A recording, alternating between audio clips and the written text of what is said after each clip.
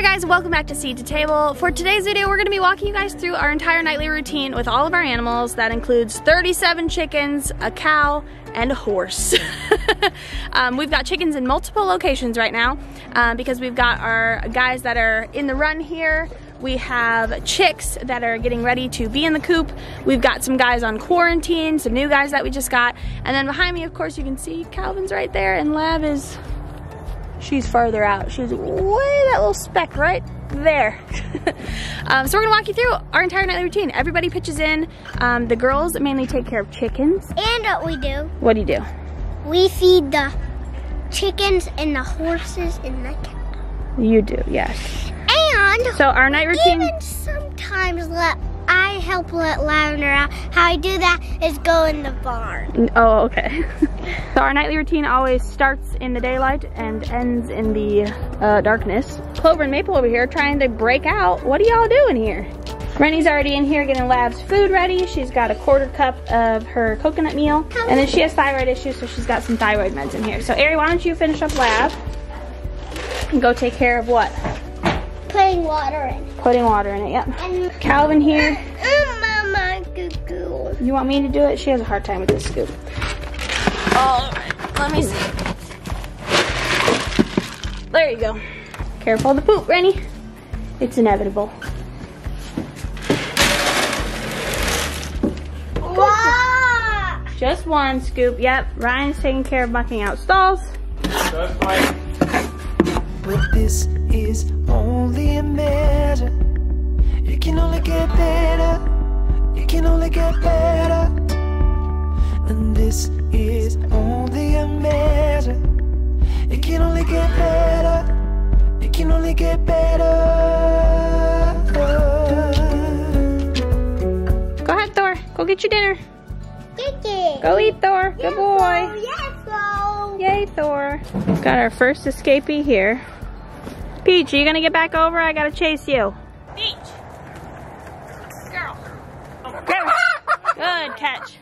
Would you be a good show chicken? I mean, technically, I think you hold them like this. Well, that's not proper. You gotta hold your wings right. And welcome to the life of cows. They get poop and everything, even their water bowl that's suspended up. Do we need to raise it a little so it's not at his butt height? And then we've got these guys that are right at the end of quarantine. So they're gonna be so happy to be running. They are, they're quarantined for a month from the other guys to make sure they don't get anything or they don't give them anything. Mm, sort of, but it's also precautionary. Ari wants to show you guys that she can climb all the way to the top of the hay. Wow, look at you go. Okay, so the hay's here. You guys got to get hay for Calvin and Lav still, right? Oh, you're right. I will say that typically I'm helping a lot more than I am tonight because I'm recording. Um, but like honestly, I feel like it's very random who does what. Um, you know, sometimes the kids fill the hay feeders, sometimes we fill the hay feeders. Um, the two main things that, even sometimes the kids muck out the stalls, like it's very random, kind of just pitch in and do what needs to be done. Um, the really the only thing that like we for sure are the only ones that do it is actually bringing Calvin and Lav in at night. Big animals come with unpredictable behavior that just like isn't necessarily intentional or trying to hurt anyone. They're just big and the kids are little. So, and then the kids always lock up those chickens. Mommy, help, please. Yes?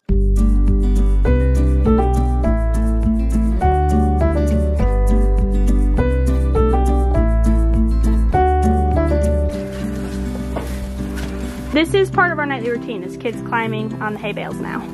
A newer part of our routine since we didn't have this much hay until recently, but Ooh, careful. So we are gonna go in and get dinner quick. Right now in the winter, we kind of play it by ear when we bring the chicks in, whether it's like getting really, really cold already, then we'll bring them in sometimes earlier. Um, but it's actually like gonna be low 70s, mid 70s over the next couple days. It was 70 degrees today, so it's plenty nice outside for them to stay there. Um, they are seven weeks and one group of them is almost eight weeks old. So they're almost at the point that they really don't need to worry at all. Uh, I do have some ideas because these guys weren't gonna move to the coop till we move too, but they need space. They really shouldn't be in here anymore. They're quarantined, they're done. So I'm thinking we might need to do like a temporary um, kind of enclosure for them for the time being, but we will see what we end up doing. Farm girls do step in mud. What do farm girls do? Step in mud. They step in mud? Oh. Yeah. You know what else farm girls do? Like to climb on the hay bales. Yeah.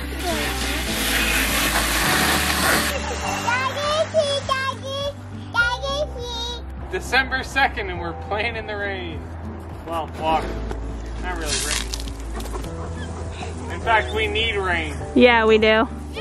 We have a statewide burn ban right now because of the lack of rain. We have, how many is it? Three wildfires going on in Yeah, North Carolina right now? like that. Pilot Mountain's probably close to 1,500 acres or something. All right, buddy, it's time for you to go back. We're gonna go get some dinner and then finish up. Come on, Thor, let's go. Come on, bud. In you go, bud. Go protect while we're gone. Good boy. Water bowls are filled. I don't know if you can see that. Calvin's got his feed. Lav eats her feed over here. Um, and then we've got everything pretty much ready. This room is always like a hot mess. We're trying to figure it all out. And always having to come back in and close up these because our kids always manage to leave them open. Um, so these things are nice though. What are they called? Gamma seal lids. So we just have food grade buckets and then gamma seal lids on them.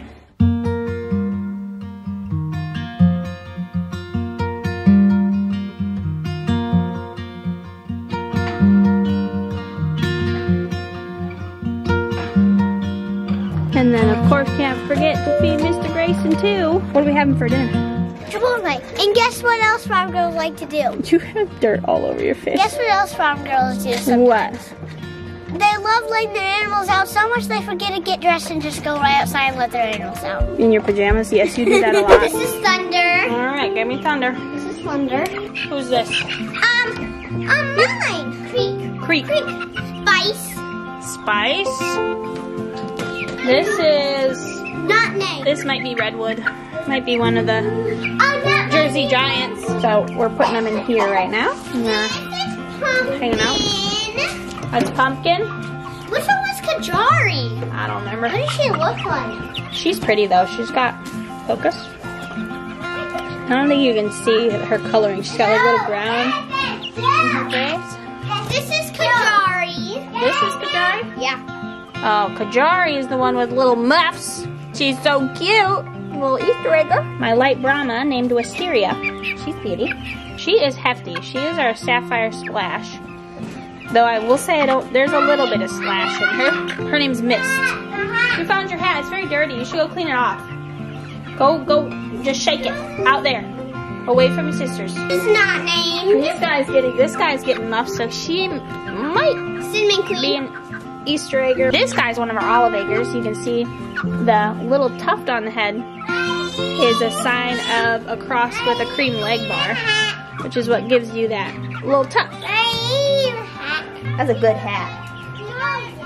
You're adorable. Yeah, you want to hold her? This one's pretty cool. She's one of our Jersey Giants, I believe, because she's all black and she doesn't have any feathers on her legs, so I think she's one of the Jersey Giants. We got so many kinds, I don't know anymore. No. Our silver lace Wyandottes. Ready? We have to fill it still. And another silver lace Wyandotte.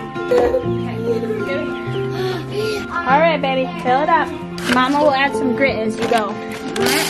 Filling it up with our chick feed. And then every once in a while, I'm just gonna do a little bit of grit. We, I haven't figured out a way to do self-serve grit that they um, don't knock it all over and it gets everywhere. They're all into the night, eating and drinking. We're on that wall, there's a big black thing. That's actually a, like a heating plate. So that's all that they use right now. We don't use a heat lamp. Are you having fun? Yeah, that hurts. I'm sure it does. Yeah. Mommy, mommy. Time to bring the chickens in. So these guys go in the barn at night so that they are safe from predators and the cold. Rainy days don't seem so wet. Stormy nights don't stay. From the moment that we met, you were wait. Oh, This could be the best thing that I'll ever know. Mm. They're still totally figuring out how to come in from this side. Uh, first thing I have to do, because we haven't buried the line for electric yet, is we unplug it from this side. Unplug it, detach it, whatever. Um, because we don't want them to trip on this while they're coming over. Um, and I think the first time Ryan tried to let them in, they wouldn't even walk over it. they get a little confused still about who stalls who. All right, come on, Lav. You coming? Go ahead, Lav. When she's through, you can. Here comes Calvin.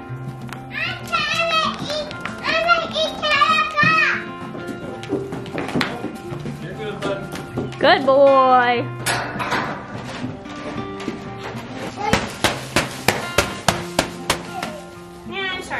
I usually do this before he's in, but I forgot. What? Outside. You're outside? Hi, Callie. Where's my dad? Come on, bud. Mom. Good night. In. Good night, bud. Good night, sir. Let's go, Ryan. So that's pretty much it. That's our night. Uh, like I said, usually, one, it goes a little faster because I'm helping, but that's everything pretty much that we do um, in a typical evening.